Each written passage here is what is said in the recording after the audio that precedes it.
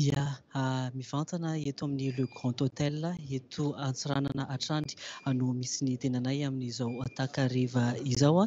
Amin'izao fotoana izao tompokolahy sy tompovavy dia efa hanomboka tsy ho ela izany ny fivoriana iarahan'ny filoham-pirenena Hery Rajaonarimampianina miaraka amin'ireo mpandraharaha.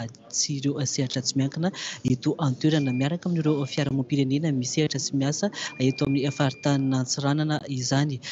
Tsirahevitsika vetivety fa mialoha izao dia nisy ny filankevitry ny minisitra izay notanterahana teo amin'ny lapan'ny tanàna teto Antsiranana. Efa nifarana ora minitra vitsivitsy izay filankevitry ny minisitra izay. Izay ary izao, avy hatrany dia efa mihazo ny Le Grand Hôtel indray izany ny Filoham-pirenena Hery Rajaonarimampianina, hifanari-tava mivantana amin'ireo mpandraharaha eto an-toerana miaraka amin'ireo fiarahamonim-pirenena eto amin'ny faritanin'i Dago. Teboka maromaro no hodinihana ao anatin'izay filankevitry ny, ao anatin'izao fihaonana eo amin'ny telo tonta izao. anisan'izany ny mikasika ny fampandrosoana ny ity faritra ity, ny fampandrosoana ifotony izay efa naverimberitsika ombieny ombieny tao anatin'ireo fampitahana mivantana nisy teo aloha. Anisan'ny horesahana ihany koa ny sehatry ny fizahantany mazava loatra satria araka ny efa nambarantsika dia ity faritra avaratr'i Madagasikara ity dia anisan'ny faritra manankarena eo amin'ny resaka zavaboaary. dia indrindra indrindra ny zava-ny hazo izany na ihany koa ireo biby izay maro karazana tokoa amin'ity faritra ity izay atao hisarihana ireo mpizahan-tany na teratany malagasy izany na teratany vahiny. Anisan'ny manankarena amin'ny resaka hazan-dranomasina ihany koa ny faritra avaratr'i Madagasikara ity, eo ihany koa ireo toeram-pitsangatsanganana maro samihafa eto amin'izao fotoana izao dia araka izany izany dia ireo teboka maromaro ireo dia anisan'ny hodinihana ao anatin'ny izao fivoriana iarahan'ny telo tonta izao ato amin'ny Le Grand Hotel no hanatanterahana izany amin'ity takariva ity rehefa avy nanatrika ny filankevitry ny minisitra moa ny filoham-pirenena sy ireo mpikambana eo anivon'ny governemanta. Amin'izao fotoana izao ihany koa dia efa maro ireo mpandraharaha ara-toekarena sy ireo fiarahamonim-pirenena no efa tonga eto an-toerana, efa manomboka miditra tsikelikely ihany koa amin'izao fotoana izao. ireo mpikambana eo anivon'ny governemanta sy ireo olo-manan-kaja sy tompon'andraiki-panjakana eto Antsiranana ny lehiben'ny distrika, izany ny lehiben'ny faritra ato anatin'ny faritanin'ny Antsiranana, eo ihany koa ireo manamboninahitra hisantsokajiny. izay heverina fa manana anjara toerana lehibe amin'izay fampandrosoana ny faritra izay, fa ny tena ifantohan'izay fihaonana androany izay moa dia ny ireo fiarahamonim-pirenena izay misehatra amin'ny lafiny maro eto antsiranana amin'ny fampandrosoana sy indrindra indrindra amin'ny fiahiana ny ara-tsosialin'ny mponina fa eo ihany koa ireo mpandraharaha amin'ny sehatry ny maro na ny jono izany na ny fizahantany ihany koa dia mandray anjara amin'izao fivoriana hatanterahana ato amin'ny Le Conte Hotel eto Anosy Be izao. Araka izany dia ity no mamarana ny fandaharam-potoanan'ny filoham-pirenena Hery Rajaonarimampianina tamin'ny tontolo andro ity. Raha tsy hevitsika vetivety dia feno dia feno tanteraka izay fandaharam-potoana izay.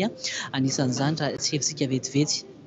ny fitokanana ny trano vaovao an'ny direksiona rezionalin'ny fizahantany natao teto Antsiranana. Ankoatra izay dia nisy ihany koa ny fanokafana tamin'ny fomba ofisialy ny fanamboarana ny lalana teto an-tampon-tanànan'i Diego Suarez hatrany. izany dia na izany na tsy izany dia nisy ihany koa taorian'izay rehetra izay ny fanamboarana ny fitokanana raha ny marimarina kokoa ny sambo lehibe iray izay mitondra solika ho an'ny faritanin'ny Antsiranana ny sambo Mahajanga.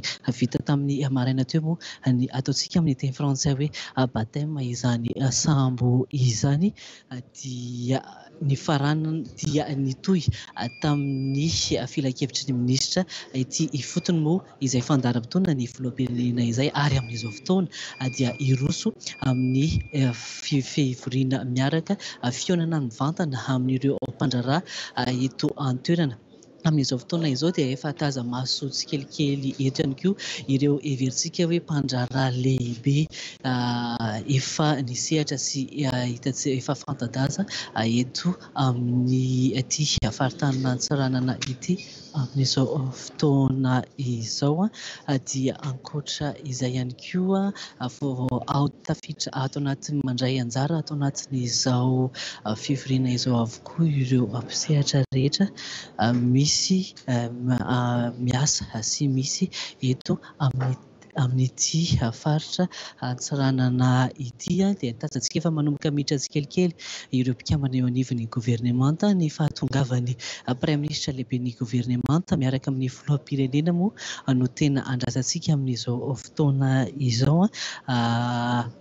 Tsy ho ela dia hanomboka izao lanonana izao ho namana anao Mihy Ratsimiseta.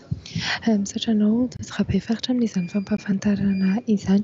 Araka izany ny ho fandehan'ny fandaharam-potoana ho amin'izao takariva izao dia rehefa tonga ny filohan'ny Repoblika dia hanolotra avy hatrany izy ny lahateny fanamarihana izao fihaonana miaraka amin'ny fiarahamonim-pirenena izao sy miaraka amin'ireo mpandraharaha ara-toekarena izay sehatra ao anatin'ny fampandrosoana ity faritra Antsiranana ity.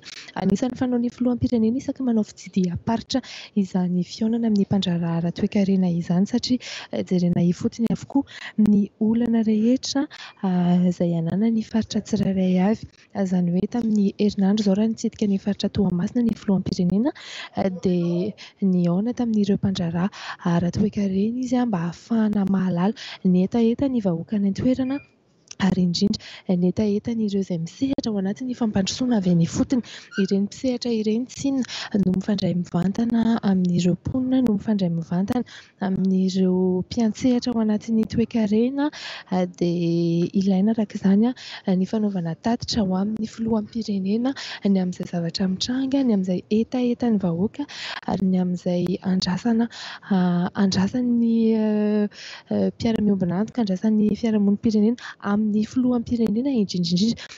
Izany hoe sehatra iray tena malalaka ahafahan'izy ireo miserasera mivantana dia mivantana tokoa amin'ny filoham-pirenena sy ny mpiara-miasa aminy, indrindra indrindra ahafahana miserasera mivantana amin'ireo minisitra izay mandrafitra ny governemanta tarihan'ny filoham-pirenena.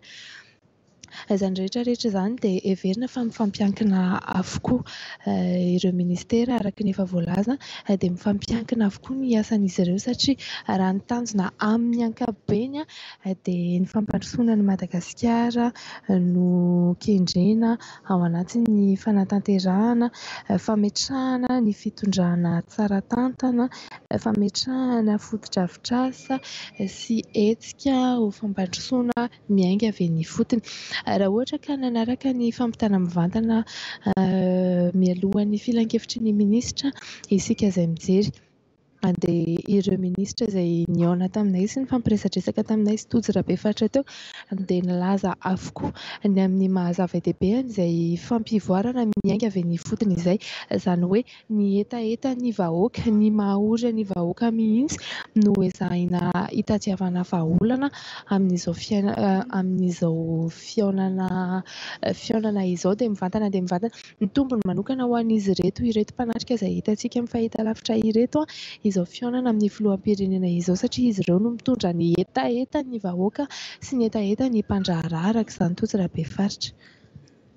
Araka izany dia zava-dehibe izao fivoriana tanterahina eto amin'ny faritanin'i Antsiranana izao. Araka ny efa nambaran'i Naomy Ratsimiseta teo dia ao anatin'ity fivoriana ity izany no hamborahan'ny ireo fiarahamonim-pirenena na ihany koa ireo mpandraharaha ny hetahetan'izay. Tanjona anatin'izany moa ny tena hisian'ny fampandrosoana tena izy sy ao anatin'ilay ataontsika hoe fitsinjaram-pahefana tena izy izay tafiditra ao anatin'ny politika ankapobeny. fitondram-panjakana amin'izao fotoana izao. Raha ny fandaharam-potoana dia tahaka izao no mety ho fitrangan'izay fivoriana izay. Efa miha tonga aloha amin'izao fotoana ireo vahiny na ataontsika hoe ireo tena voakasika betsaka ao anatin'izao fivoriana izao. Avy hatrany kosa dia. hiroso eo ho an'ny filoham-pirenena ary handray fitenenana hanokatra amin'ny fomba ofisialy izao fivoriana izao. Aorian'izay dia hisy ny famelabelaran-kevitra arahina adihevitra iarahana sy fifanakalozan-kevitra iarahana amin'ny filoham-pirenena sy ireto vahiny sy mpandray anjara ato anatin'ny fivoriana izay. Henoy ny filoham-pirenena izay hetahetan'ny mponina amin'ny ankapobean'izay satria ny fiarahamonim-pirenena tokoa no mpanelanelana eo amin'ny fitondram-panjakana sy ny fahefana mpanatanteraka amin'ny ankapobeny sy ny vahoaka malagasy izy ireo no andry ho an'izay fitondram-panjakana izay, izy ireo ihany koa no manao ny rappel, raha izay angaha no afaka hilazantsika azy, ny zavatra tokony ho ataon'ny fitondram-panjakana amin'ny ankapobeny izany rehetrarehetra izany, ankoatra ny parlemantera ihany koa moa mazava loatra dia manana andraikitra ao anatin'izay, dia eo izany no ilazantsika izay andraikitra tokony hananan'ny fiarahamonim-pirenena izay fa tsy ambanin-javatra fa manana izay andraikiny izay ihany koa ireto mpandraharaha ara-toekarena ireto izy ireo izay any fototra izay mandray sy mitondra ny fampidiram-bola ao anatin'ny kitapom-bolam-panjakana noho izy ireo izay misehatra amin'ny lafiny maro eto amin'ny tany sy ny firenena ny fizahantany ny jono ny fitaterana sy ny sisa izao dia efa miditra ny Praiminisitra Lehiben'ny Governemanta mihazo ny toerany amin'ity hariva ity. Tsy ho ela araka izany dia hanomboka izao lanonana fivoriana izao.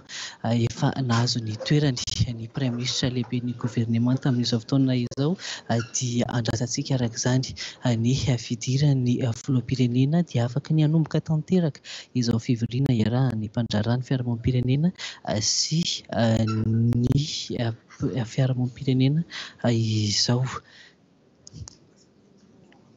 Efa nahazo ny toerany avokoa ny rehetra amin'ity hariva ity. Andrasantsika izay fivoriana izay.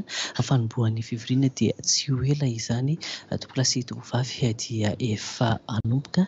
Ato amin'ny Le Grand Hôtel hatrany ny fitantarana aminao mivantana ny fizotran'izay fivoriana izay. Amin'ny teny vahiny, Tojo Rabefaritra dia antsointsika hoe fotoanana question réponse, izany hoe hisy fanontaniana izay ho apetrak'ireto fiarahamonim-pirenena ireto sy ireo mpandraharaha ara-toekarena ireo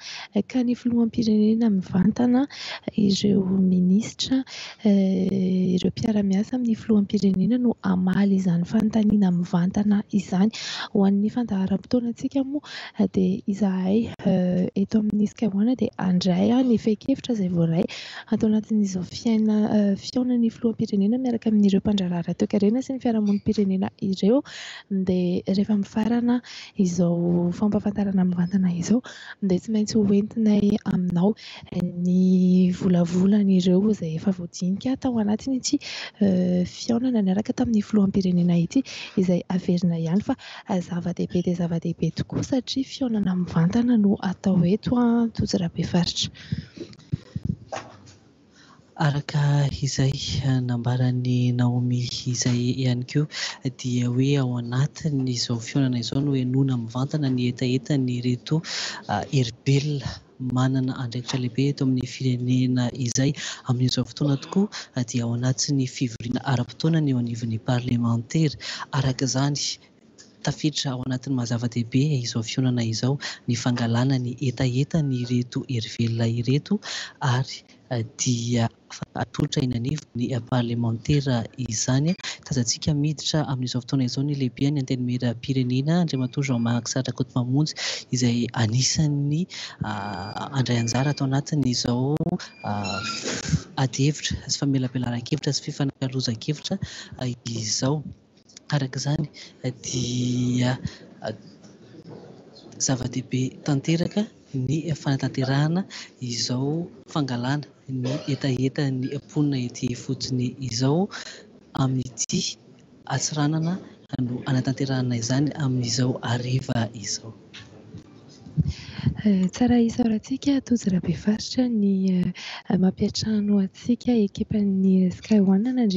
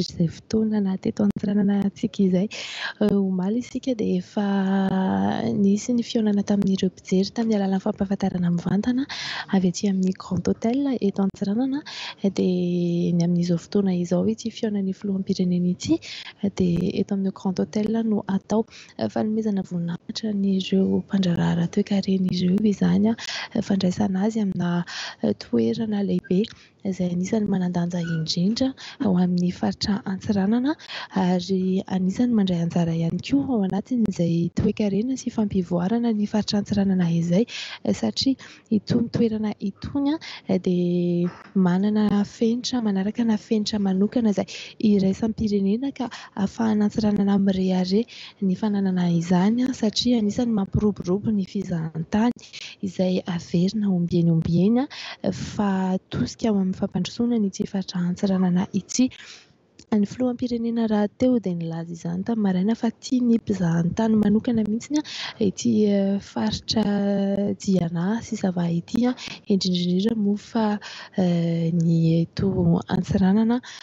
Dia tsara araka izany ny fananana Antsiranana an'izany toerana izany fitondrana ny reharehan'i Madagasikara fa manana zavatra izay tsy mena-mitaha amin'ireo fotodrafitrasa avy any ivelany. dia tazantsika miditra ny varavarana ary amin'izao fotoana izao ny filoham-pirenena Hery Rajaonarimampianina handray ny toerany izy arahin'ireo mpandray anjara tehaka moa izany araka ny hitantsika amin'ny sary amin'izao fotoana izao tsy ho ela dia hanomboka izany ity lanonana ity Ao anatin'izao fivoriana izao ihany koa no ahafahan'ny fitondram-panjakana mamelabelatra ifotony ny politika ankabian'ny fanjakana ao anatin'izay fampandrosoana izay ary dia ahafahantsika miroso ao anatin'ny fampandrosoana ny firenena hatrany. Tiana hatrany ny mamerimberina izay hoe teny fampandrosoana izay satria izay no. tanjona lehibe ao anatin'izao fidirana ifotony tarihin'ny filoham-pirenena izao. Handray fitenenana kosa amin'izao fotoana izao ny filoham-pirenena Hery Rajaonarimampianina. Tsy ho elingelenay ianao izay manaraka mivantana izao fa dia avy hatrany dia ho arahintsika izay lahateny ataon'ny filoham-pirenena Hery Rajaonarimampianina izay.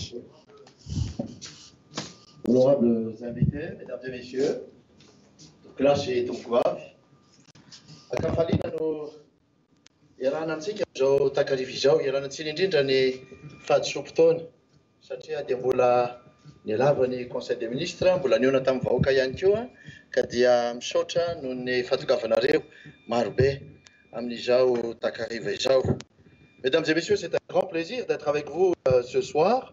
Merci de votre indulgence, merci de votre patience. On a décalé un peu le, le temps. Mais je crois qu'il est toujours important qu'on se voit, on se rencontre, on discute. Le président de la République, là où il va, aime discuter avec les gens, aime écouter les gens, les jeunes, les femmes, les opérateurs économiques.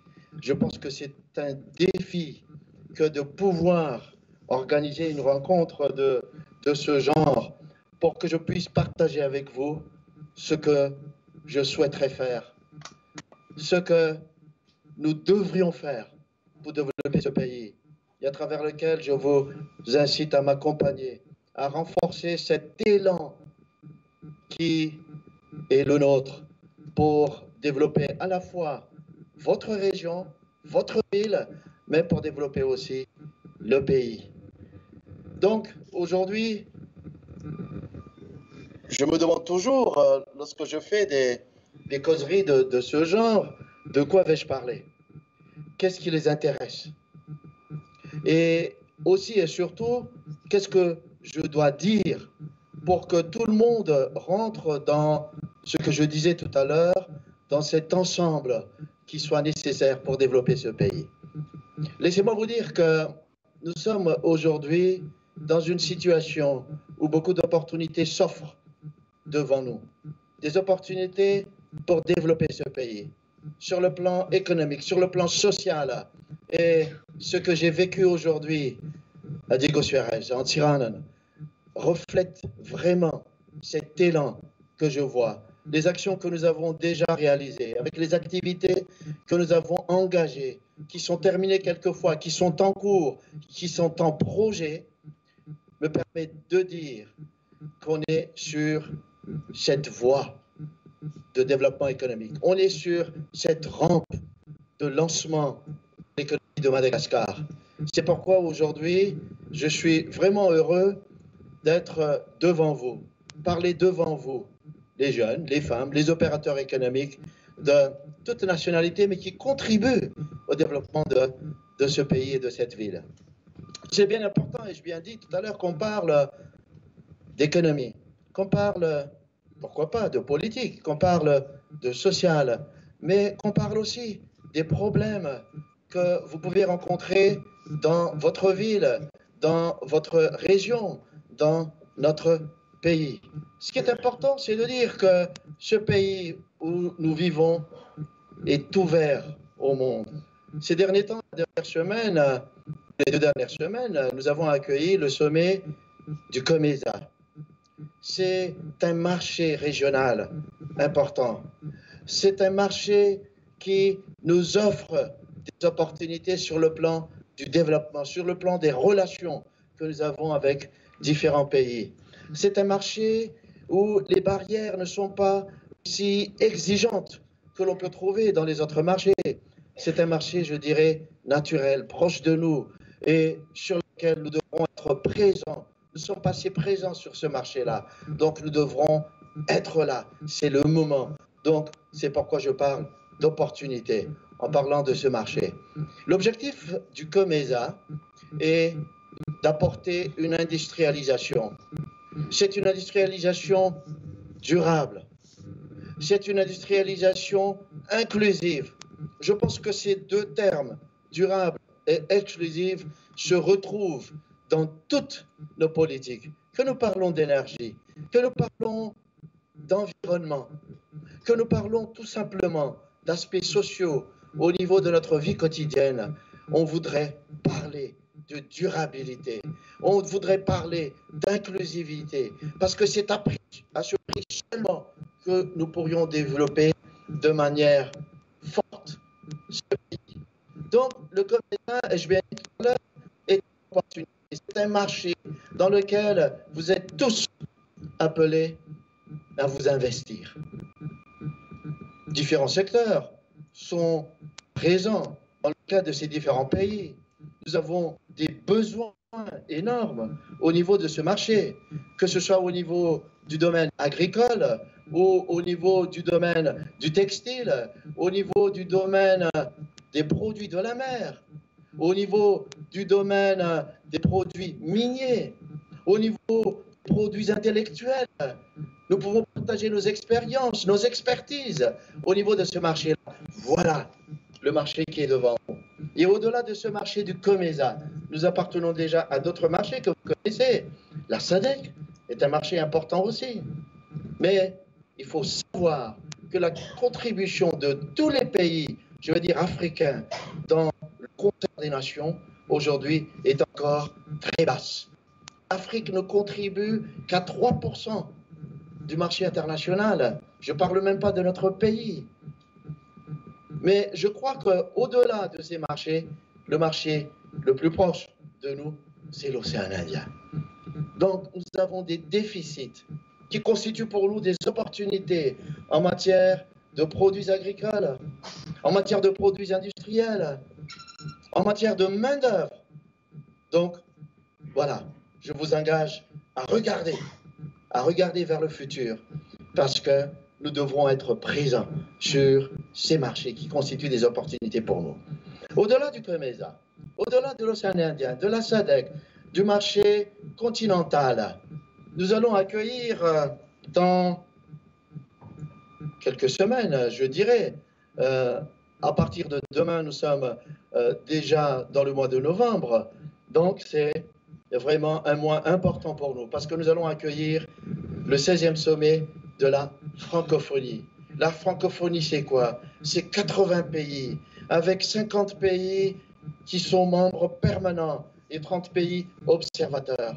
C'est un, une plateforme importante d'échange. C'est une plateforme importante dans laquelle les opportunités sont ouvertes. Et Madagascar, cette fois-ci, sera le centre du monde pour discuter avec toute cette plateforme, avec les dirigeants que compose cette plateforme. Il y aura des chefs d'État, des présidents, des premiers ministres, des grands responsables, des grands commis de l'État de chaque pays qui vont venir chez nous pour connaître notre pays, pour savoir qui nous qu'est-ce que nous pouvons offrir comme euh, atout dans l'avenir Moi, j'ai toujours dit, quelles que soient les hésitations que certains auraient pu avoir par rapport à l'organisation, à la tenue de cette francophonie, moi, j'ai dit à tous les pays, à tous nos interlocuteurs, que Madagascar et les Malgaches vont vous recevoir avec ce qu'ils ont eux, ce qu'ils, avec ce qu'ils ont et ce qu'ils sont. Ça, je pense que c'est très important. C'est pourquoi nous ne devons pas avoir peur, nous ne devons pas avoir honte de recevoir cette euh, francophonie. C'est vraiment un défi pour nous. Un défi parce que le monde est ouvert devant nous et le monde vient vers nous pour nous ouvrir les fenêtres et je dirais les portes de ces différents pays. Nous avons développé pour cette francophonie une agence, une agence de, développement, de développement pour le développement économique qui fédère les efforts qui devraient venir des privés, venant de tous les secteurs, pour que la plateforme de la francophonie puisse apporter, à travers des échanges, puisse apporter pour chaque pays les expertises, les atouts, les finances, les jeunes, les technologies, les techniques qui sont là pour développer chaque pays. Et il n'y a, pas de plateforme aussi naturelle que dans le cadre de cette rencontre entre 80 pays qui parlent la même langue pour pouvoir fédérer toutes ces forces pour appuyer le développement de chaque pays. Je pense que c'est bien important. C'est ça qui sera devant nous le mois prochain. On y est déjà. C'est tout ça qui s'offre à Madagascar en plus de, du Comesa, la francophonie. Et au début du mois de décembre, le 1er et le 2 décembre, nous allons être à Paris pour la conférence des bailleurs et des investisseurs. Nous allons discuter avec eux. Nous allons leur présenter ce que nous voulons faire pour l'avenir, pour développer le pays, dans différents secteurs, avec des projets, des activités bien précis. Donc ça, c'est un défi majeur et je suis confiant qu'avec la participation qui s'annonce déjà aujourd'hui au niveau de cette conférence des bailleurs et des investisseurs, nous pourrions être confiants que les engagements seront là. Les défis vont être relevés par tout le monde, quels que soient les pays, d'où qu'ils viennent. Mais je pense que le plus important aujourd'hui, c'est que ce soit nous qui engageons les premiers pas. C'est nous qui devrons montrer notre détermination face au monde entier, que nous sommes prêts à développer notre pays, que nous sommes prêts à prendre en main la destinée de ce pays. Et ça, je crois que c'est la responsabilité de chaque citoyen, quel que soit son rôle dans la société, qu'il soit opérateur économique, qu'il soit un jeune, qu'il soit étudiant, qu'il soit une femme, tout court, une mère de famille, qu'il soit dans des sphères, euh, euh, je veux dire, euh, internationales ou dans des sphères régionales ou tout simplement au niveau de la sphère nationale, je pense que chacun de vous a un rôle important pour développer sur Madagascar qu'on aime. Et à Diego Suarez, pour euh, déjà enclencher ce, ce processus de développement, vous avez manifesté l'intérêt, cet intérêt, je crois, partagé, mais cet intérêt profond de mettre en place les zones économiques spéciales. Donc ça, c'est une opportunité importante dans un cadre bien défini qui offre, j'allais dire, des opportunités pratiques au niveau fiscal, au niveau juridique, au niveau économique, à tous les investisseurs dans un cadre spatial bien déterminé, qui sera le vôtre, qui sera déterminé avec vous, donc avec des textes réglementaires, avec une loi bien précise. Je sais que Fort de fin, c'est déjà prononcé. Nous avons l'engagement de la population, nous avons l'engagement des opérateurs et nous avons même déjà un partenariat avec les Mauriciens, euh, que ce soit le gouvernement mauricien ou les opérateurs économiques pour se diriger vers cette voie de la zone économique spéciale. Donc j'étais vraiment heureux d'entendre que ça venait de vous. Mon rôle, notre rôle en tant que gouvernement, en tant qu'État, c'est d'appuyer cette initiative. Il faut que cette initiative vienne de vous. Il faut que cette initiative soit internalisée dans votre conscience. Il faut que cette initiative soit bien comprise par les partenaires sociaux. C'est ça le gage de la réussite de ce grand projet de zone économique spéciale. Tout cela rentre dans la philosophie qui est la mienne, que j'ai toujours partagée et qui devrait être la philosophie de développement de ce pays, c'est de mettre en place des projets structurés et surtout structurants, quels que soient les secteurs, que nous allons observer, observer et analyser cette philosophie de projet structurant devrait être là. C'est quoi un projet structurant C'est un projet qui devrait être C'est un projet qui devrait respecter l'environnement, la culture, les traditions. Et c'est un projet qui doit respecter les grandes idées au niveau de ce développement, notamment la décentralisation et ce clin d'œil important qu'on accorde à la jeunesse. Ça, c'est vraiment important. Et lorsque je dis inclusivité, c'est l'inclusivité dans tous les efforts nécessaires pour le développement économique et social, mais dans l'inclusivité aussi du partage des bénéfices de ce qu'on va avoir. Mais mettre en place un projet structurant nécessite un engagement, un engagement dans le temps, parce que ce n'est pas en un jour qu'on va construire et reconstruire et rebâtir ce pays, je dirais. Je ne vous mentirai pas 50 ans, nous n'avons été que sur une pente descendante dans ce pays, et surtout sur le plan économique. Sur le plan de la pauvreté, c'est désolant euh, à dire, mais lorsque j'ai pris les rênes de ce pouvoir en janvier 2014, on avait 92% de taux de pauvreté et d'extrême pauvreté. Et en plus, le pays a été vraiment exsangue parce qu'on a été sanctionné de toutes parts, politiquement, économiquement et financièrement. Donc maintenant, il faut relever le défi aujourd'hui. Et comment D'abord, avec le temps. Il faut mettre en place vraiment les véritables socles d'un développement, que ce soit sur le plan politique, sur le plan social et aussi et surtout sur le plan économique. Parce que lorsqu'on parle de pauvreté, on va attaquer on va attaquer nécessairement l'aspect économique. Donc, je vous engage à observer cette euh, notion de projet structurant. C'est bien important. Et l'exemple le plus euh, patent, je dirais, au niveau de euh, ce projet structurant, c'est ce qu'on pourrait trouver au niveau des routes, de la construction des routes. Il ne suffit pas tout simplement de reboucher les trous. Il faut vraiment construire, rebâtir les routes pour que ce soit durable, utilisable et pour que l'on puisse vraiment assurer un véritable développement à partir des infrastructures. Il en est de même au niveau de l'énergie.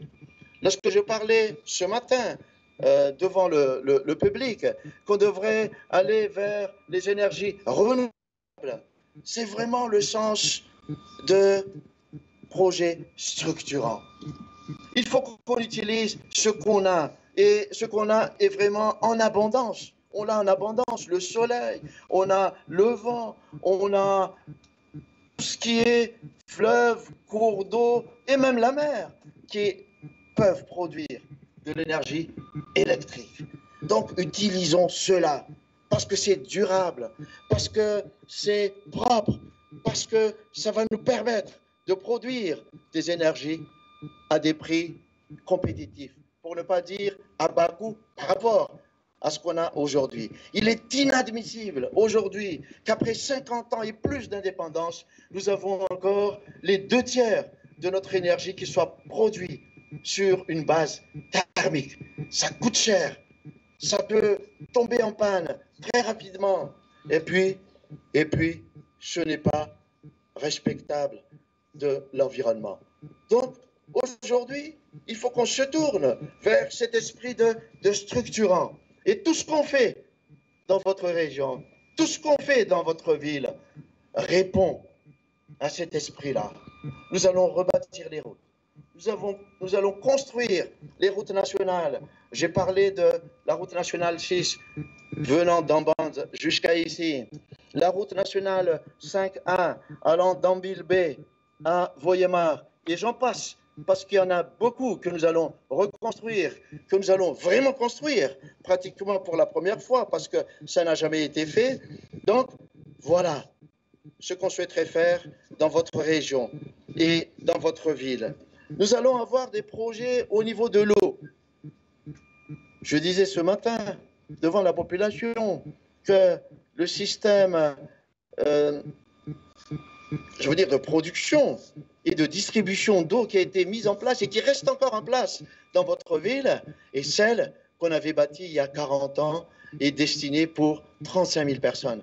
Aujourd'hui, vous avez été multiplié par, par 5 ou même plus. Donc, il faut reconstruire, il faut rebâtir aujourd'hui. Donc, avec le financement de la Banque mondiale dans le cadre du projet PIC 2, nous allons vous offrir une meilleure distribution d'eau dans cette ville, et tout cela pour améliorer les conditions sociales de vie de, de la population. Nous allons nous focaliser aussi sur tout ce qui est développement économique, en développant l'agriculture. Dans toujours le projet Big euh, 2, nous allons développer la production de cacao. Nous allons démultiplier par euh, X fois cette production qui reste encore très basse aujourd'hui. Très basse, mais de meilleure qualité parce que nous avons la première qualité au niveau mondial. Même si nous avons pêché au niveau de la quantité, c'est pas grave, mais nous allons nous rattraper. Mais en tout cas, au niveau de la qualité, on va essayer de la préserver pour pouvoir être beaucoup plus présent et de manière beaucoup plus visible sur les marchés internationaux. Donc, nous allons parler de projets sociaux, nous allons parler de projets économiques. Et tout cela, tout cela en respectant, si vous voulez, l'environnement. Ça, c'est un engagement que nous devrons prendre ensemble. Et il y a bien d'autres engagements qui devraient nous engager ensemble, notamment les problèmes de sécurité. On parlait de, de sécurité, on parlait au-delà de la sécurité, d'une sécurité beaucoup plus importante au niveau politique qu'est la stabilité. Donc ça, c'est l'affaire de tous. C'est tout le monde qui devrait se donner la main pour mettre en place ces socles du développement économique et social. C'est vraiment ce dont nous avons besoin. C'est ce qui nous manquait depuis. Et je sais qu'aujourd'hui, lorsque je regarde cette envie de vouloir développer ce pays, de vouloir donner de meilleures conditions de vie à la population malgache, à nos voisins, à nos prochains, à nos concitoyens. Je suis convaincu que si vous êtes bien intégrés dans toutes ces philosophies dont je viens de vous partager, je pense qu'on pourra mettre en place ces socles nécessaires pour le développement de ce pays. Qu'est-ce qui est important encore Ce qui est important aujourd'hui, ce sont ces jeunes. Ces jeunes qui constituent de la majorité de la population. Ces jeunes qui, aujourd'hui, sont soit aux études ou au chômage, mais de toute façon, ces jeunes qui sont présents et qu'on devrait tenir compte dans nos discussions, dans notre vision il faut aujourd'hui leur donner une bonne éducation. Il faut aujourd'hui leur donner des formations professionnelles. Il faut que demain, on puisse leur préparer des emplois, des emplois tout court, mais surtout des emplois décents, des emplois qui leur permettent de donner vraiment leur statut de jeunes qui Aujourd'hui, je le sens, ce sont des jeunes qui en veulent, qui veulent prendre vraiment la destinée de ce pays. Donc, il faut qu'on se tourne vers cette jeunesse. C'est pourquoi dans notre politique, nous sommes engagés à réformer l'éducation à partir de la base. Nous avons donné beaucoup d'efforts, beaucoup d'efforts au niveau de l'éducation, notamment de l'éducation de base, pour pouvoir donner à ces enfants et à cette jeunesse la possibilité de transformer ce pays. Ce qui nous manque aujourd'hui, c'est cette transformation dans nos consciences. On en a besoin. Les activités peuvent être là, mais aujourd'hui, il faut qu'on ait de véritables repères au niveau social, au niveau de ce qu'on veut, au niveau vraiment de chaque citoyen, pas seulement au niveau politique, mais au niveau de chacun en tant que citoyen. Il faut que le civisme revienne aujourd'hui. Il faut que les valeurs qui sont ancrés dans nos cultures et nos traditions malgaches, renaissent aujourd'hui pour donner plus de force, plus de vigueur, plus de stabilité à nos sociétés. C'est vraiment important. Et justement, mesdames et messieurs, cette soirée me donne l'occasion de vous partager ces quelques idées. Euh, je pourrais continuer, euh, on en aura jusqu'au petit matin si je continue, mais je pense que je vous ai tracé les quelques lignes qui me semblent être importantes à vous partager pour vous engager dans cette dynamique transformationnelle. On a besoin de transformer notre pays. Les opportunités sont là. Nous avons les ressources nécessaires, que ce soit les ressources minières, les ressources maritimes, les ressources au niveau de ce que nous offre la nature dans le cadre de la faune et de la flore malgache pour développer des activités qui soient conformes, comme le tourisme. Mais la plus importante ressource, c'est notre ressource humaine. Nous avons des opportunités. C'est pourquoi chaque fois que je pouvais et que je pourrais encore parler dans quelques tribunes que ce soit, je dis toujours que Madagascar, aujourd'hui, c'est une terre d'opportunités. Donc venez chez nous. Nous sommes peut-être un peu loin, mais nous sommes aussi, en termes d'opportunités, au carrefour des cultures de l'Afrique, de l'Asie, de l'Arabie. Donc Madagascar dispose de tout cela pour assurer son propre développement, mais son propre développement, ce n'est pas le président seul qui va assurer ce développement et qui pourra réaliser ce développement. Il euh, sera là qu'en tant que conducteurs, en tant que leader peut-être, mais les véritables artisans de ce développement, c'est vous. Et je sais que je peux compter sur vous et je vous remercie de votre aimable attention. Dia izay izany ny lahateny nentin'ny Filoham-pirenena tamin'ity androany ity. Raha fintintsika tsotsotra dia anisan'ny nambarany tao fa ny fibanjinana ny ho avy no tokony himasoana amin'izao fotoana izao ary ny fiaraha-mientan'ny tsirairay ihany koa raha ny nambaran'ny Filoham-pirenena no antoka amin'ny fampandrosoana ny firenena. Nanentana ny tsirairay araka izany ny Filoham-pirenena mba hanambatra izay hery izay mba tena hisian'ny fampandrosoana marina ho an'ny firenena. Teboka maromaro sy lohahevitra maromaro araka izany no hodinihana sy horesahana ato anatin'ny izao fivoriana izao. Arahantsika ny fandraisam-pitenenana izay ambaran'ny filoham-pirenena izay dia hiroso araka izany amin'ny fifanakalozana sy ny adihevitra eo amin'ny filoham-pirenena sy ny mpikambana amin'ny governemanta ary ireto vahiny ireto, izany hoe ny mpandraharaha ara-toekarena sy ny fiarahamonim-pirenena amin'izao fotoana, ny toy ny fotoana.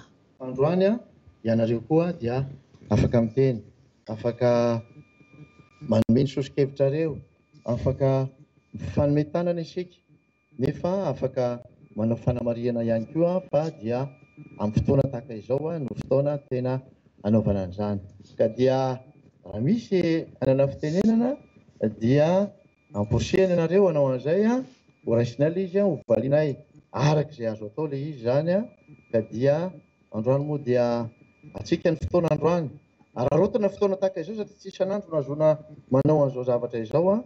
Fa dia hozy aho hoe, Androany inoako fa tafaray ny mitia sy ny manina ka dia mba azahoantsika mifampitafa sy mitafatafa amin'izao takariva izao. Donc la parole est à vous hein, donc si vous voulez poser des poser des questions ou faire des réactions ou donner des suggestions je pense que c'est l'occasion de de le faire aujourd'hui et ce soir et je vous Je vous donne le la parole, anareo izany ny ny micro indray an, raha te raha te hiteny ianareo.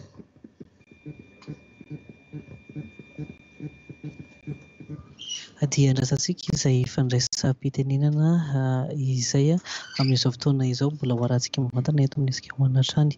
Ny andinindininy izay, teboka maromaro araka ny efa nambarana teo no hodinihana, anisan'izany ny mikasika ny fananganana ny ZES, ny sehatry ny zo, ny fahizahan-tany, sy ny sisa sisa. Arahantsika avy hatrany ary ny fandraisam-pitenenana voalohany amin'ity maraina ity.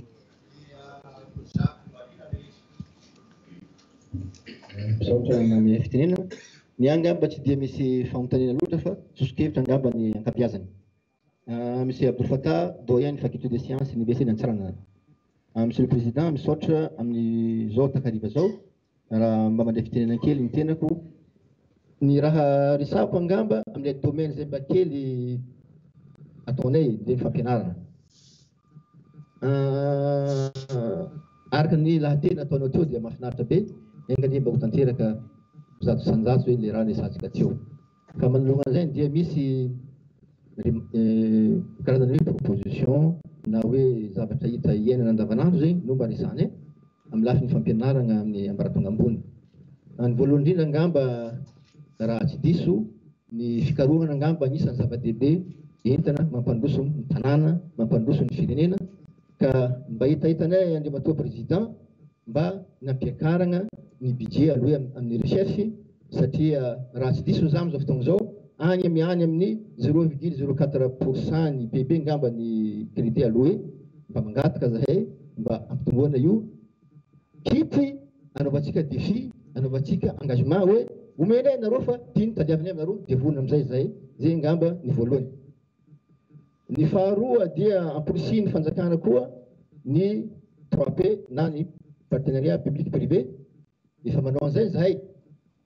Ary ny tompon'andraikitra amin'ny Université, manomboka amin'ny Ministère, ny Président ny Université, ny Doyen Directeur dia miezaka fa misy pitsopitsony angamba tsara amiagna atosika kely satria be dia be ireo partenaire-ntsika na eto an-toeragna na avy any ivelany dia te hanosiky ny Université koa satria ny vola aloha atolotro amin'ireo namako mbola tsy dia be loatra amin'ny recherche dia misy ireny partenaire-ntsika ireny Manome karazany hoe dotation na hoe don en matière éducative ireny appareils izay azo lazaina hoe lafolafo ihany. Kanefa tonga aty ireny appareils ireny matetika misedra olona dia izay au niveau ny douane. Malgré izany ny ratifier-tsika ny accord de Florence sy ny protocole de Nairobi,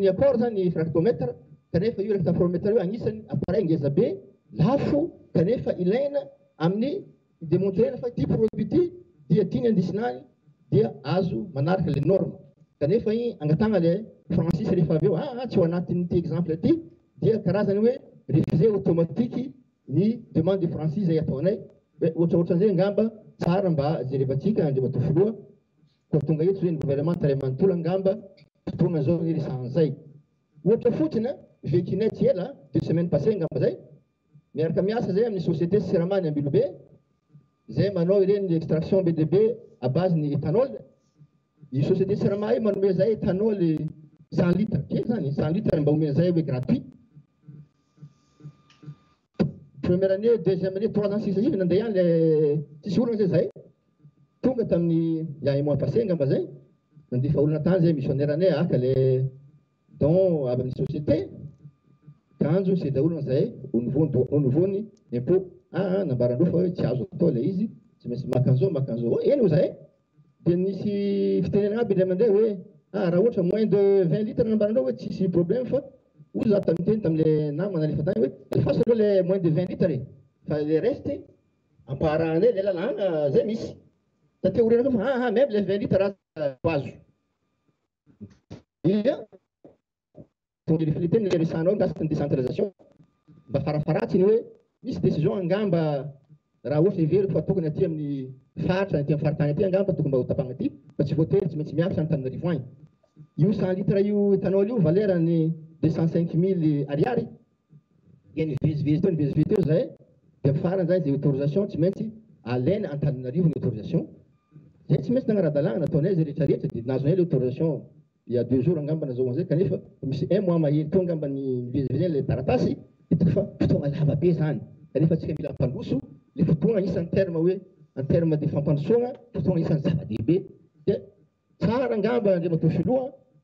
Ireny directeurs régionaux, directeurs interrégionaux ireny za tsy milaza hoe omena fahefana tanteraka fa mba misy karazany décision mba aty amin'ny faritry, mba aty amin'ny faritany manapaka izy fa tsy voatery hoe décision rehetra rehetra tsy maintsy ho raisina any Antananarivo any sanatria.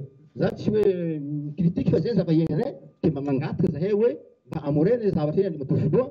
fa zay aho mahita fa hoe raha omenareo tosika ngezangeza université zay vonona hanao défi volako hoe aminjay hitanay ohatra zay afaka omaly ohatra nandeha tany amin'ny ramen ary misy toerana hitanay zany hoe afahagna manao fampandrosoana miaraka ministère ny tourisme ny enseignement supérieur efa ato le fa ato le fotoana fa tenin'ny président teo le zao fotoana hoe hagnararaotana io zay de magnararaotra zahay miala tsiny indrindra tompoko fa tsy matetika koa anie zay mahazo ohatra an'ity e misaotra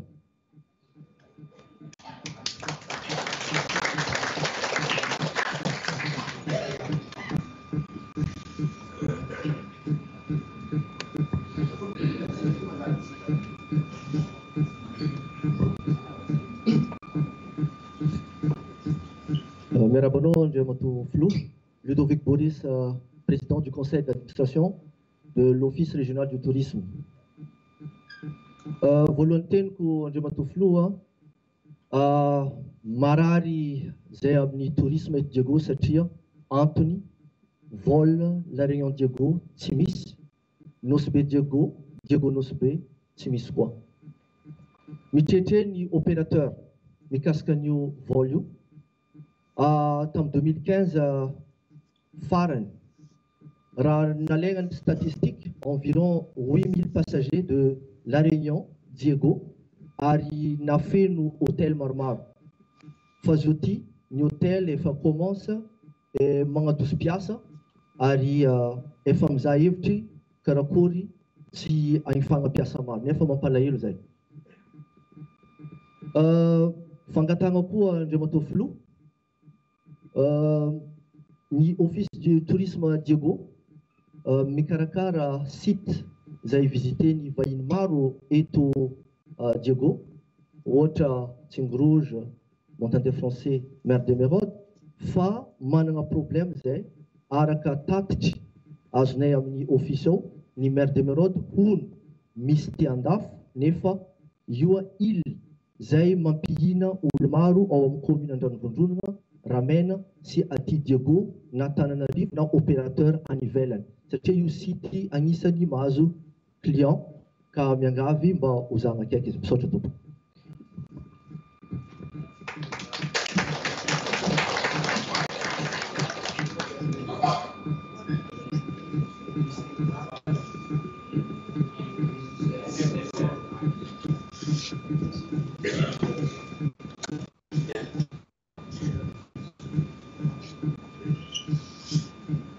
Azafady.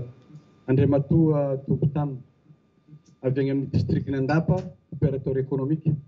Mikasika ny vanille no andraisiko fitenenana, Tompoko. Voalohany indrindra, ny vanille dia nangatahan'ny Banque Mondiale nanaovana liberalisation tamin'ny taona telo amby sivifolo. Dia nangatahan'ny Banque Mondiale koa tamin'izay fotoana izay nametrahana ny hoe plateforme.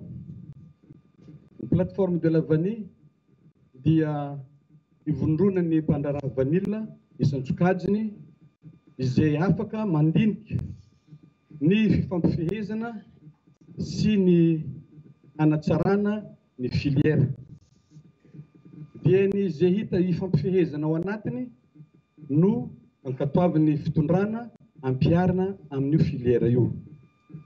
Tato ato anefa io plateforme io dia mangozohozo ary koa ny zavatra mitranga dia ohatran'ny lasa miaro ny tombotsoan'ny ankilany. ny plateforme fa tsy miaro ny tombotsoany ny maro ao anatin'ilay filière.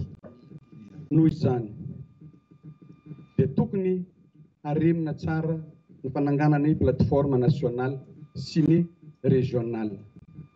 Hatramin'izao, ny plateforme régionale ao amin'ny Sava dia natao ny fifidianana nijoro tamin'ny valo jona enina amby enina ambin'ny folo sy roa arivo teo.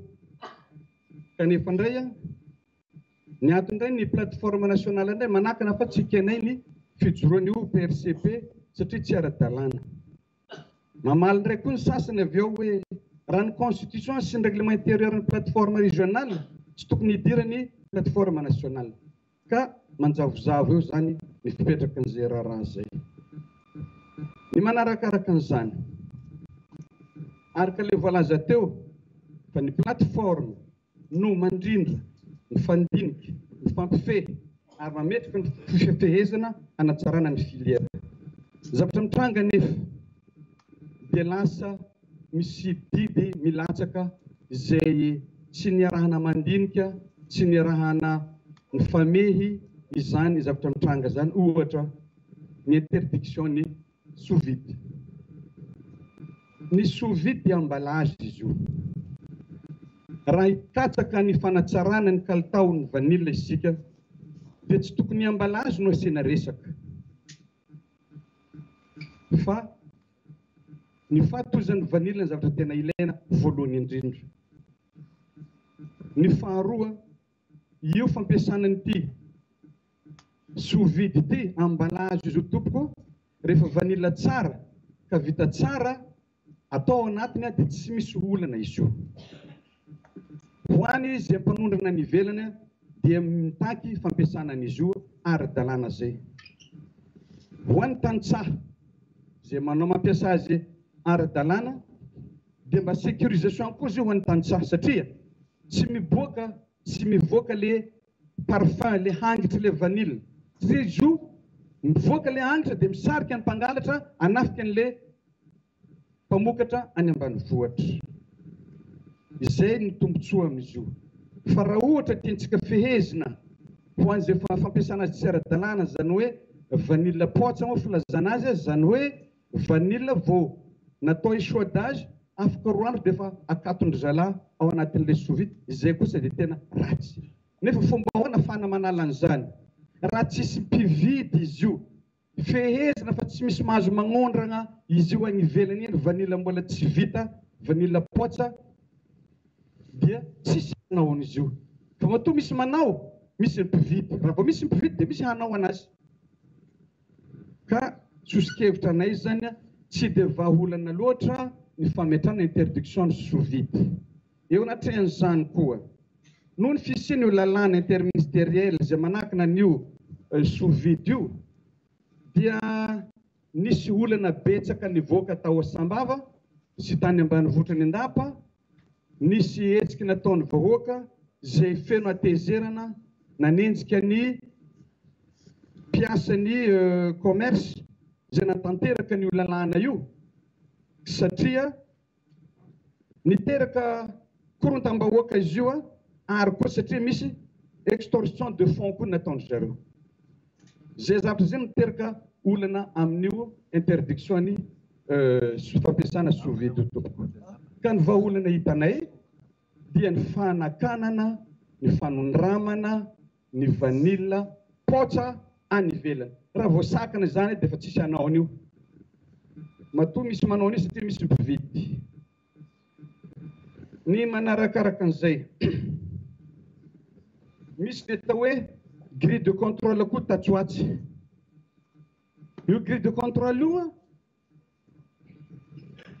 somary tampoka ary tsy misy nahafantatra ny fisian'izy io, ary avy amin'ny lalàna inona no nivoahany dia tsy fantatro. Fa manahiahy ihany ny tanora, ireo exportateur vao tanora vao mitsangana vao hamorona orinasa dia ohatran'ny hoe fanilihana sy fanakarana ary fahena mampihena ny isan'ny exportateur ny tanjona amin'io. Izay ny ahiahy mipetraka amin'io ka noho izany dia tokony ho jerena ankaiky dia ankaiky.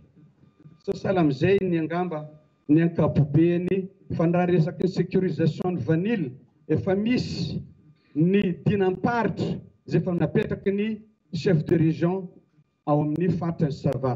Raha tanteraka antsakasiandavana io dia ny sécurisation tompoko a, mba hatohizan'ny vanille dia ho tanteraka soamantsara. Misaotra tompoko.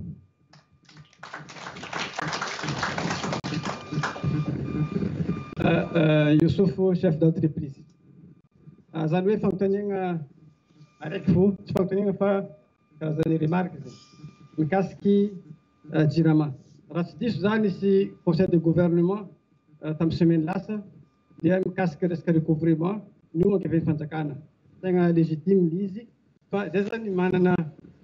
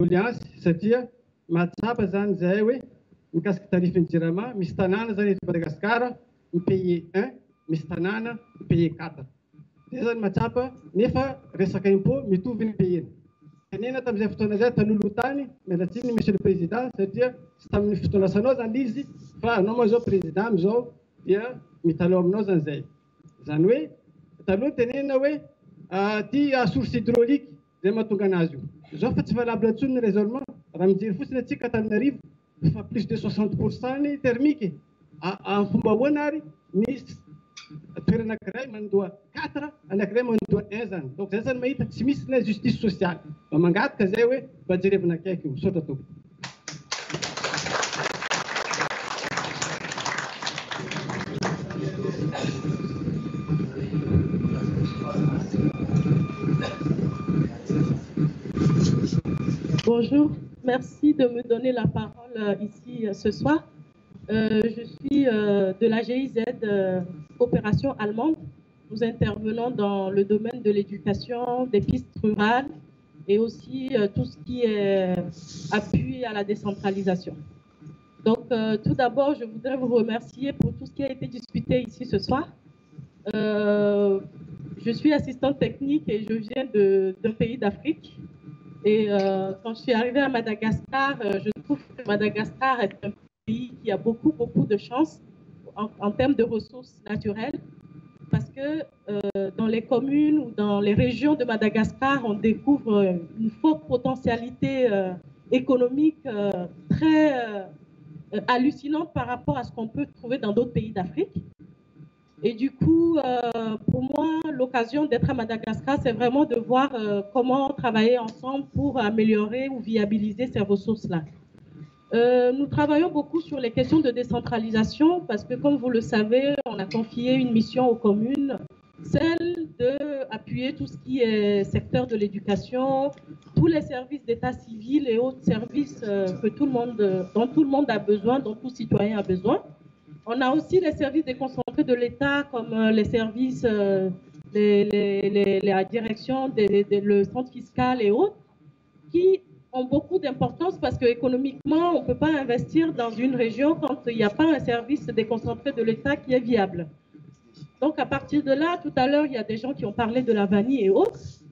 Euh, on se rend compte qu'il y a beaucoup de choses qui se passent dans la région économiquement, mais Financièrement, on ne voit pas les retombées économiques sur les recettes de la commune. Et pour nous, ça, c'est très important parce que tant qu'il n'y a pas la décentralisation et la déconcentration effective de l'État, euh, il y a beaucoup de choses qui peuvent se passer à Tana, mais au niveau communal et au niveau régional, on ne voit pas tellement, on a besoin de faire un papier important pour notre société, et bien on est bloqué parce qu'il faut remonter à Tana. Et du coup, euh, je sais que euh, le ministre, euh, le Premier ministre, le ministre de la décentralisation, nous soutient beaucoup dans cette démarche, mais nous voudrons, en termes de gouvernance, que Monsieur le Président, vous avez demandé tout à l'heure si on peut apporter des propositions, des solutions, que sur la question de la gouvernance et de la décentralisation fiscale, qu'il y ait encore plus d'efforts qui soient faits pour que, quand nous travaillons aux côtés des communes, on va avoir des impacts qui encourage vraiment des populations, parce qu'on accompagne beaucoup de maires pour euh, qu'ils puissent euh, engager des dépenses, qu'ils puissent investir dans leur commune. Mais régulièrement, on voit qu'ils sont un peu découragés parce que, euh, voilà, telle société ne n'a pas payé ou ne veut pas payer en termes d'impôts fonciers sur le revenu, impôts impôt, impôt fonciers sur le bâti, impôts sur le revenu. Et du coup, tous ces éléments-là les démotivent. Donc, c'est une proposition que nous faisons c'est une doléance que nous faisons. Si vous pouvez beaucoup nous soutenir sur cette question de la gouvernance locale, ça permettrait beaucoup au niveau économique local de pouvoir lancer beaucoup d'initiatives. Merci beaucoup.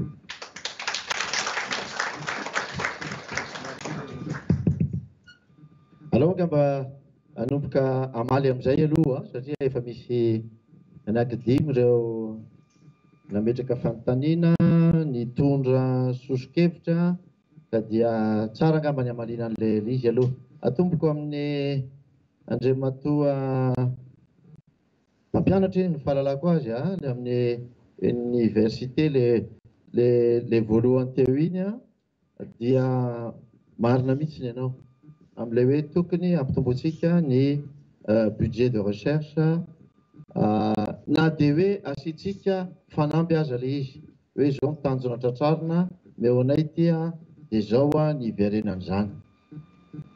Zany ny fomba fiasako zany ko.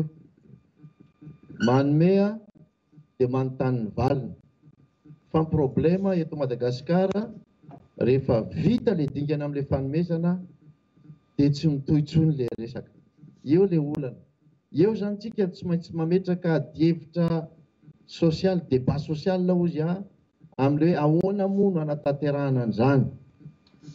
Vao haingana nametrahan'ny mpanao gazety fanontaniana mahakasika an'ilay hoe maninona moa ireto industriels gasy ireto no tsy ampiana, maninona no tsy ampiana amin'ny lafiny hetra, eo amin'ny lafiny haban-tseranana izy ireo ka dia hamaivanina izany retraretra izany?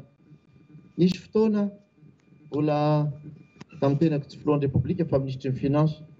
Rehefa nijerena ny zavatra nangatahan-dry zareo dia hoy zah hoe izao ary no izy, sarotra tanterahina ary raha marina tsy azo tanterahina fa izao, handray fanapahan-kevitra hotanterahako. Omena anareo daholo ireo. Tamin'izany fotoana izany cent milliards d'ariary. Fa izao kosa, andao hanao colonne anankiray isika dia ireto ny zavatra tadiaviko. engagez vous hoe firy ny création d'emploi, firy ny valeur ajoutée, firy ny impact au niveau ana développement ny infrastructure sy ny tahaka an'izany. Nisy critère maromaro izay natao. Nentim-pototra tsikelikely ilay olona, tsy nanaraka an'ilay izy. Izaho tsy manao hoe mbola izay foana ny toe-tsaina, ary tsy milaza aho hoe izay koa ny toe-tsaina any amin'ny sehatra hafa. Fa ny tiako tenenina izany dia ny hoe, ekentsika fa misy fanamby tokony atao ao amin'io resaka fikarohana io. Tsy handroso ny fampianarana ambaratonga ambony indrindra indrindra raha tsy misy ny fikarohana. Nefa na dia misy aza ny budget satria aleo dia mba resahana kosa fa be dia be ny budget amin'ilay fikarohana fa ilay fikarohana ny antsika izany dia lasa indemnité izay hisitrahan'ny rehetra fa tsy hoe indemnité ho an'ilay mpikaroka. Tsy mitovy izay a! Ny antsika izany dia indemnité izay mitovy omena ny rehetra fa tsy hoe indemnité omena ny mpikaroka. Isika anefa mahalala fa misy ny olona ny tena natao hikaroka, misy ny olona ny tena natao hampianatra fotsiny, misy ny olona ny te Manao zavatra hafa fotsiny.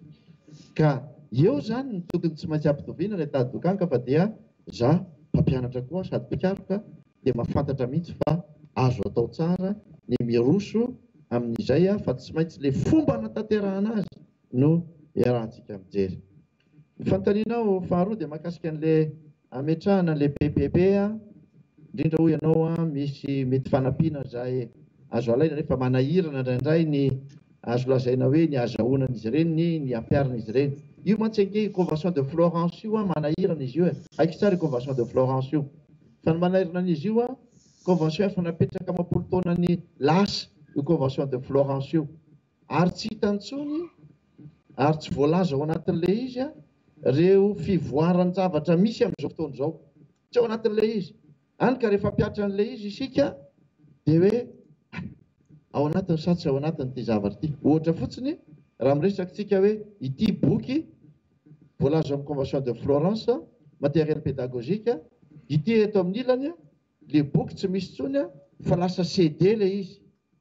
Dia ilay CD indray dia hoe ah, io tena any anatina rubrique hafa io an, ao anatin'ny Code général des impôts an, tsy tafiditra ao anatin'ny Convention de Florence io an, izany rehetra rehetra izany izany an, mbola tsy maintsy mbola mila jerena ihany koa izany, ny hampiharina ilay Convention de Florence io an, ekena mihitsy ilay le fanamarihana nataonao teo ary izany dia mbola ezaka ataontsika amin'le fotoana izay lany amin'ny procédure maro samihafa.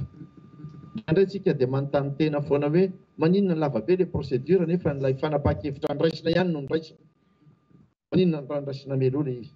Izany izany dia ezaka izay tokony hatao amin'izay azo lazaina hoe hanomezana fahefana ireo any amin'ny faritra amin'ny andraikitra izay misy azy eo amin'ny administration izany hoe inona ny azo omena azy.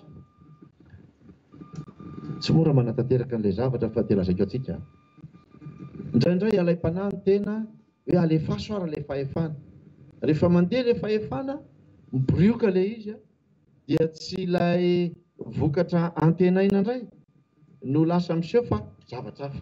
Ka eo angamba ilay ataoko hoe mbola mbola mandalo amin'izay antsoiko hoe période d'apprentissage isika ao anatin'izay fanovana rafitra izay ka dia ny ahy ny azoko tenena fotsiny dia za dia tena mi-compatir mihitsy amin'izany problème izany satria rehefa mihatra amin'ny olona ilay izy dia ohatran'ny Tsy azonao tsara fa rehefa tena miaritra ny tena le izy de maninona ara ny zavatra kely otran'izany no lasa blocage. Za milaza aminao fa na izaho mah filoham-pirenena ary de mbola miaina an'izany blocage maro samihafa izany. Na miteny aza hoe ataovy ity an dia mbola misy procédure be dia be any. Nefa procédure izay fantatra zao an fa Mety tsy mitondra fivoarana akory, mety tsy ilaina akory, mety izaho tsy manao hoe aza arahana ny lalàna fa hoy aho hoe azo atao tsara ny sady manaraka ny procédure no mandeha haingana no manatratra izay tanjona atao ka dia voaray ny zavatra noteneninao rehetra teo, voasoratray ireny zavatra ireny. Ny fangatahan'Andriamatoa PCA indray, vao niresahanay tao anatin'ny conseil des ministres teo mihitsy izy io. Hoe ny problème eto Diego ange amin'ilay vol Diego La Réunion tsy problème-n'ny hoe tsy finiavana anao an'ilay izy e! Fa mametraka problème technique ity aéroport-n'i Diego ity. Tsy ny fiaramanidina rehetra no afaka mipetraka eo dia afaka miainga eo. Izay ilay olana. Isika izany dia nanana fiaramanidina izay sahaza eo amin'ny lafiny ara-ekonomika, eo amin'ny lafiny ara-kalitao ary eo amin'ny lafiny ara-teknika amin'ilay aéroport tamin'izany fotoana izany, Boeing sept cent trente-sept, trois cents. Tsy misidina intsony io amin'izao fotoana izao. Manana isika Boeing sept cent trente sept huit cent fa tsy afaka mipetraka amin'io. Misy antony ara-teknika io. Ny antony voalohany dia ny hoe fohy ny halavan'io piste io, izany hoe misy fepetra izany amin'izy io hoe ity fiaramanidina afaka tafapetraka eo, ity tsy tafapetraka eo. Fa ny tena olana dia eo amin'ilay fiaingàna. Misy an'io rindrin'ilay Montagne des Français io manoloana an'ilay izy. Ka raha vao boin no eo, na dia ilay sept cent trente-sept trois cent taloha ara, sahirana sy mitandrina foana. Dikan'izany dia izao, mbola mitady vahaolana ara-teknika isika. Efa mandritry ny volana maro no minisitera ny ao anatin'io. Te hanome toky anao aho fa tsy hoe nampiripirimina tany akory izy io, Fa eo Andriamatoa Minisitra ay tsy eo moa izy fa lasa nanao fandaharana any amin'ny radio sy ny television any an, fa dia tena raisina an-tanana mihitsy. Fa ny tiako tenenina antsika dia izao, izay ilay olana amin'ilay tsy fijerena lavitra sy fametrahana ilay niteneniko teo hoe projet structurant. Izay. Tsy nijerena. Diego Suarez ve dia hatramin'izao dia tsy misy balizy akory? Shahazad, Diego Suarez ve fantatra zao fa ny tourisme no tokony entina ampandrosoana an'i Diego Suarez? Dia nandritra izay dimampolo taona izay dia tsy vita akory no nametraka izay vahaolana ara-teknika. Tsy vitan'ny hoe ny piste tsy vitan'ny hoe misy arofenitra ara-teknika Fa tsy amina hoe ny fiara izay hoentina mivezivezy eo ilaina amin'ny lafiny sécurité dia tsy ampy eto amintsika. Ny toko omeko anao fotsiny dia ny hoe anisan'ny fanamby ataontsika io, anisan'ny priorité antsika izay fangatahana izay nataonao izay satria Tsy vitan'ny hoe ireo touristes fotsiny, izay tokony ho aty no tsy tonga aty na sahirana rehefa maka aty fa misy fiantraikany izany eo amin'ny lafiny ara-toekarena, eo amin'ny hotely, eo amin'ny sehatra maro samihafa eto amintsika ka dia efa raisin'ny fitondram-panjakana an-tanana izany io. Ianao moa no milaza amin'ilay hoe Maire Demerode teo misy te hivarotra. Zany hoe misy te hividy koa zany le izy.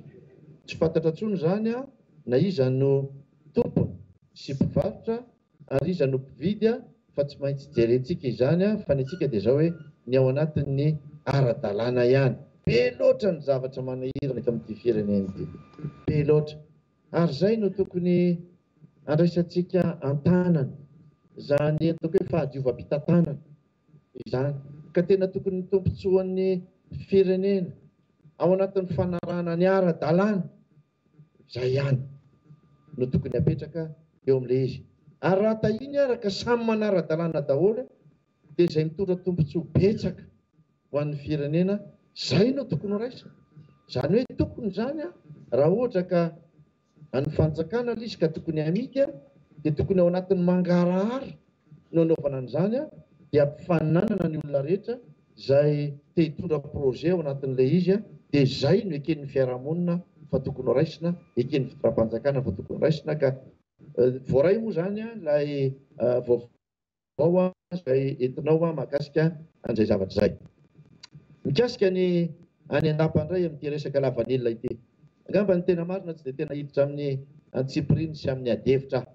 Satria hamerina sy hamohafoha adihevitra izay mety efa voalamina nefa niteraka gidragidra. ihany koa tamin'izany fotoana izany. Fantatro tsara io resaka hoe sous vide io sy ny sisa fa izao. Io ihany koa dia mila jerena ilay mpividy ary ambadika ary araka ny teninao teo ihany le hoe fa nga moa vanille maitso na tsy masaka akory no tokony atao any, inona ny zavatra misy eo amin'ilay tsena, inona ny tombotsoan'ireo olona izay manao an'izay? Nefa tsika fantatra fa hatramin'izay rehefa mivarotra vania dia vania masaka no amidy ary ny fonony ampiasaina dia fonony manokana fa tsy io sous vide io ka hozy aho hoe ny ahy indray dia izao averina eo amin'ilay plateforme ilay izy. Ilay plateforme no tokony hamerenana ny adihevitra, ilay plateforme no tokony ho renforcer-na raha ilaina, ilay plateforme no tokony Havaozina ny fomba fiasa na ny olona ao anatiny na ny mpikambana ao anatiny.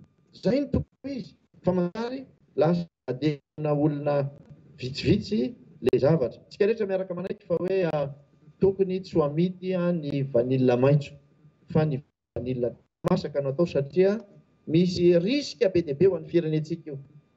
Misy risque be dia be ho an'ny firenentsika io. Ary za dia miantso mihitsy ireo mpiantsehatra rehetra amin'io sehatra io aho fa tandremo fa ny tokony azonao androany an teraka fatiantoka maharitra ho an'ny firenena. Ary tsy izay ny tadiavintsika. Ary tsika tsy hanaiky an'izay.